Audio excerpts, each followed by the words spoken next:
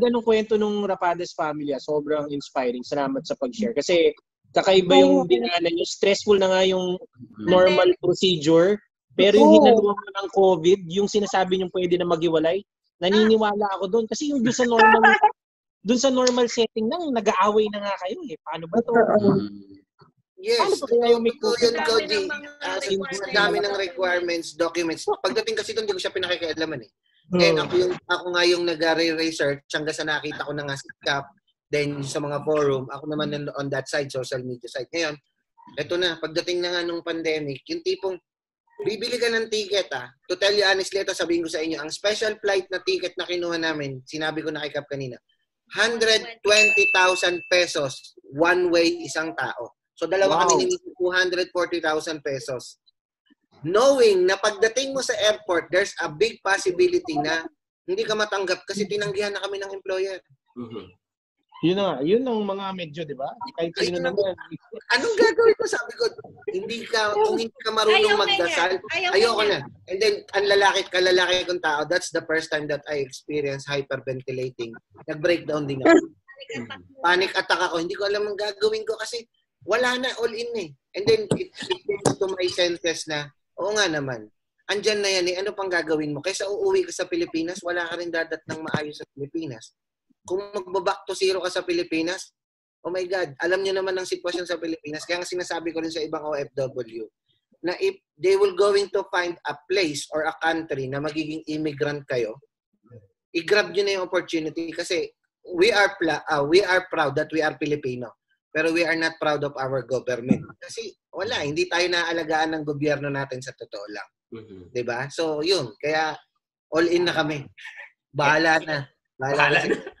Oh. Pero sa yan, wala man sigurong one year, makikita nyo sobrang sulit na lahat ng sinacrifice. Ilang buwan lang, masaya na siguro. Pag nakalabas-labas na kayo dyan sa apartment, ang bilis na. Ang bilis na yan. Two days pa, kating-kating na nga mga paa. Kasi biro nyo, galing na nga kami sa mahabang quarantine. March, Oo. March na March. na ako ng work. Oo, nag-resign na siya ng work. Tapos Saudi, lockdown kami. Hindi rin kami Konti na makalabas. lang. Doon. Oo. Ito na yung kinahihintay. Dati hinihintay mo lang magkaroon ka ng papel. Ah, dati hinihintay mo lang employer. Nagkaroon ka ng employer, hinihintay mo yung papel mo. Tapos sunod, hinihintay mo naman yung visa mo. Hinihintay mo yung flight mo. Ngayon, hinihintay mo na makalabas naman. Kasi quarantine, literal. Ang dami hinihintay na. Pero two days yan. Looking forward sa two days na yan at makapaglakad-lakad kayo. And napakaganda ng weather ngayon kasi parang Pilipinas-like. Pero Tsaka maganda sa New Brunswick, tinitignan ko sa internet. I mean, yung ano, ganda din sa daming pasyalan pwedeng puntahan pag okay. Hello, um, hello pala, ah, ako pala si Jongfel from Dubai, UAE. Ay po. And una sa lahat, thank you kay ano kay Cap Joey and then the rest na nag-initiate nitong ano nitong um webinar. I think um, marami tayong matutunan and then um I think marami din tayong ma-share sa mga yung yung nandiyan na like si si Adrian tsaka yung family niya, yung wife niya. So I think marami din tayong matutunan from them. Siguro yung question ko kasi kaka kaka sign up ko lang sa isang immigration consultant dito sa ano sa Dubai. Siguro regarding doon sa ah, demand ng job na in-apply nila for me kasi currently sa HR ah, department ako. So yung job na in-apply nila is um adminis um admin Mhm. assistant. So paano kaya I mean gaano kaya siya in demand sa ano sa EITB program? Okay. Sa Halifax, sure ako, bago yung pandemic, nakikita ko sa mga job posting, maraming admin assistant na positions. Bago pandemic, ah. Actually, yung isang kasabayan namin dumating, kilala rin ni Cap Joe yun. Admin assistant yung naging work niya.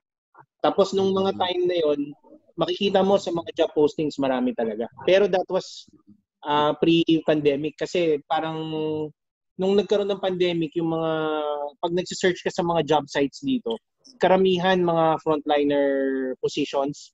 Normally yung mga kasi yung mga bukas noon yung mga nasa grocery, yung mga Mm. ganito. Yung mga office medyo nawala. So dahil kabubukas pa lang ni Halifax dito, siguro mga Ewan Cap Joey, tingin mo baka bumalik na yung mga yan? feeling ko ano, ah, hintay lang tayo. Um, number one na tandaan natin dito um, sa, sa Halifax, number one na tandaan natin, it's a growing city talaga. So, maraming job opportunities dito sa Halifax.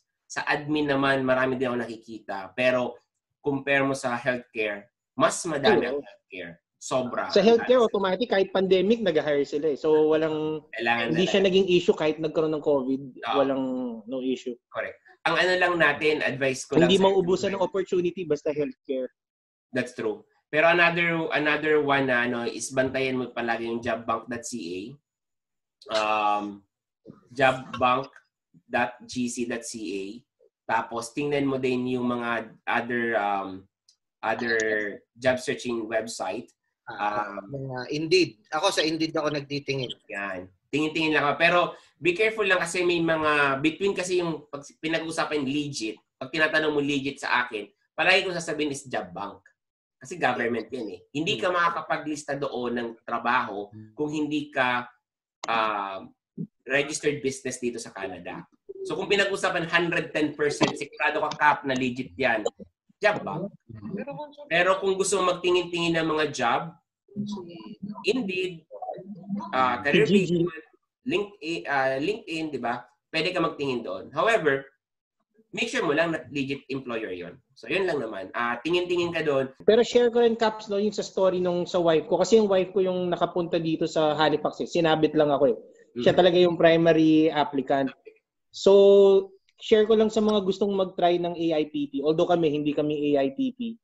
Uh, ah, nung naghahanap yung wife ko ng work dito, so PR na siya, naghahanap siya ng work dito in two weeks siguro, nag-apply siya ng mga, kung di ako nagkakamali, mga 200 job positions. Ganun kadami yung makikita niyo sa sa mga job search.